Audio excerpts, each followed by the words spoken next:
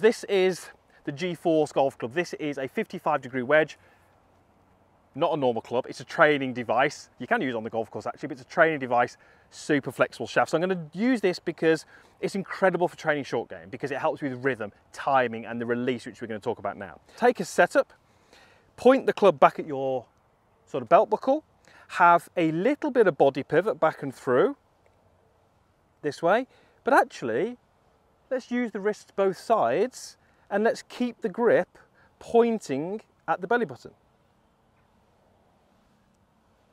So you can see that I'm letting the club swing around my body.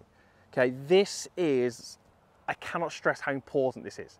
Just letting the club swing around your body, feeling the weight of the club. But the next little exercise was to take a setup, move the club back, have a little bit of wrists, and you're gonna do what I call a three club drop drill. So I'm gonna keep the lead arm in place, let the club drop to the ground. Okay, I'm gonna do that three times. After the third time, I'm gonna let the club drop to the ground, and if I didn't do anything, the club would drop here.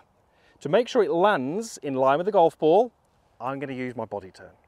So for me to contact the ground where the ball is, I've got to let the club drop to the ground and I've got to match it with a body turn. So that would look like this. We go here, we go one, two, three, and go through. Okay, no, so the club still points back at me. I let the club head swing and I married up the club going down and my body turning. So we go back, we go one, two, three, and turn. I mean, look how easy it is to hit a little pitch onto the green. I landed the club exactly where I needed to. I felt very little tension through my hands. I was letting the club swing, which is so important, and I've got a pretty good result. It's a great little drill, and this club makes that incredibly easy to do because as soon as I start to make these snatchy movements, the club's gonna react. I'm not gonna hit any good shots at all. So the final little exercise, I love this one. If you only do one of these, make it this one okay? Really tapping into the natural talent you've got, your natural ability, and just really letting that club swing, okay? Hold the golf club, one hand only. Start some three to four feet back of the ball, and just let that club swing. Match it with a body turn, let that club swing, okay? And all I want him to do is do this and just start to walk into the golf ball. Okay, so letting the club swing, letting the club swing, and eventually you're going to arrive at the golf ball. That wasn't hard enough, but the strike was great. Okay, I'm gonna do that again for you. Start here, let the club swing, land it on the ground, and just shuffle forward until you get to the point where the golf ball gets in the way. That's a pitch shot. Feels incredibly simple, incredibly easy because I'm using the golf club the way it was meant to be designed.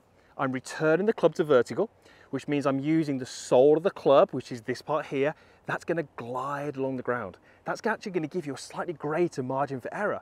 So if you land the club slightly early, you're still gonna get a decent result. It might not be perfect, but it's still gonna be decent. When we start to change the angle this way, when we start to use the wrists at the wrong part, when we start to introduce some of the full swing elements to our short game, we start to push the leading edge down, our margin of error gets much narrower, and we don't hit as good as shots. So I've always seen great short game players be able to hold the club in one hand and let's say I'm doing a little bit of a chipping exercise, I'm trying to pick the golf balls up, I could just walk up to a golf ball and just chip it. It's gone a little left, but it was a good strike. Let me show that again. I'm not ever going to misstrike this, just walk up to a golf ball and just chip it onto the green. Now, how easy does that look? It would never ever make sense to me to hit that shot like this. You know, drag the handle and then drive the handle. So I'm to get all sorts of reactions in that. And when I do that with this club, the shaft overly bends and I get terrible results. So try that. Just hold it in one hand. Just walk up to golf ball, very relaxed. Little bit of body turn, let the club land on the ground, and you're going to hit some pretty good shots. That was a little thin, but that was okay. You're tapping into your natural movements. Okay, final thing was just to put all those things together. And using this club with this shaft is ideal because it means that I'm really aware of the club head through the motion. I'm really conscious of it swinging. So easy to hit shots like that.